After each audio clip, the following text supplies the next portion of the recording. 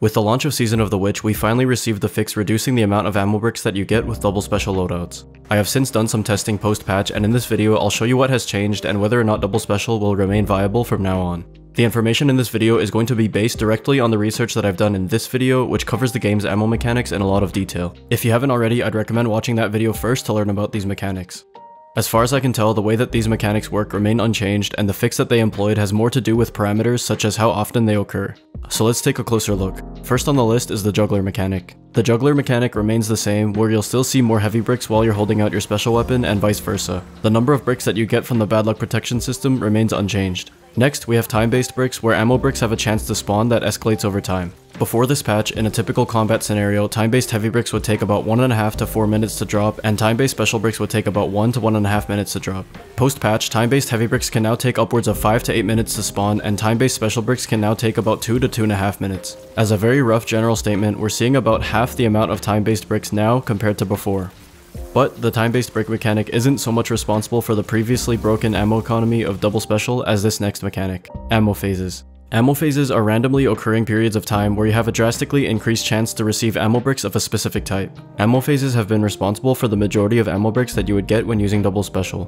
Prior to this patch, heavy brick phases on average would yield 5 to 10 bricks over the span of roughly 1.5 to 2 minutes. Now they yield about 3 to 5 bricks over the span of roughly 45 to 75 seconds.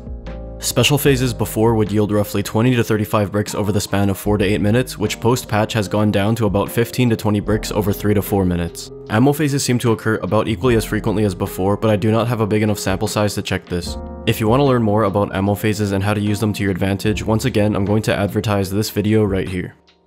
So overall, with both time-based bricks and ammo phases taken into account, over a testing period of 2000 seconds, I received 47 heavy brick drops pre-patch, which went down by 62% to 18 heavy bricks. For special bricks, it went from 111 bricks to 91 bricks, which is around an 18% decrease. So while the amount of heavy bricks has decreased drastically, it's actually very nice that it was only an 18% decrease for special bricks because a big reason that people ran double special is because oftentimes special weapons just performed better than primary weapons in most scenarios and there wasn't much reason to use a primary weapon at all. And the downside of limited ammo wasn't much of a deterring factor because of the absurd amount of special ammo that you would get to sustain the playstyle. So now that I'm seeing that the average decrease in special brick drops isn't deal breaking, I expect that the double special loadout configuration will still remain sustainable although you do have to be a lot more mindful of your ammo economy now. I personally was on a double special loadout for much of the contest mode Crota encounter and rarely ran into any ammo problems if any at all. I did use my throwing knife and grenade quite often, which demonstrates that effective use of your abilities will of course be very helpful with sustaining your ammo economy. I hope you found this video useful and I'll see you in the next one.